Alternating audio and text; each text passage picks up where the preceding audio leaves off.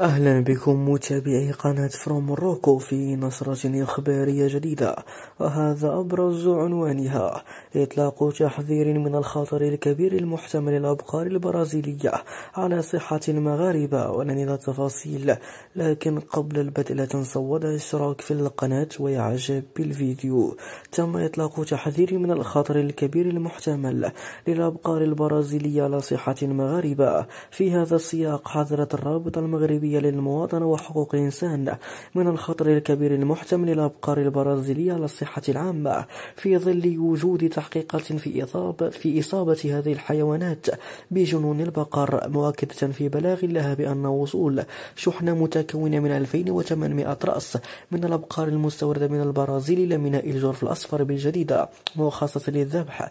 يأتي تزامنا مع كون وزارة الزراعة البرازيلية أعلنت بداية مارس 2023 عن إيقاف تصدير لعدة بلدان بينما تحقق السلطات في حالة إصابة بجنون البقر.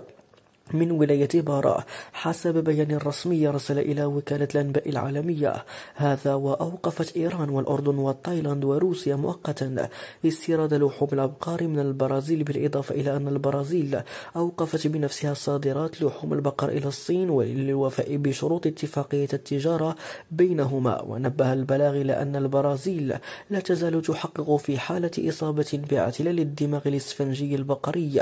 رصدت لدى حيوان ذكر يبلغ يبلغ من العمر تسع سنوات من ولاية بارا في هذا الصدد أدانت الرابطة الحقوقية كل أنواع الاستهتار بالصحة العامة للمواطنات والمواطنين من أجل مصالح جهات لا يهمها إلا الربح المادي. إلى ذلك طالبت الرابطة الحقوقية بعزل كل الأبقار المستوردة من البرازيل عن الأبقار المحلية ووقف كل استعمال لها لدى المواطنات والمواطنين إلى حين القيام بتحقيق برلماني أو قضائي في الموضوع بإشراك الخبراء والجمعيات والنقابات المهتمة.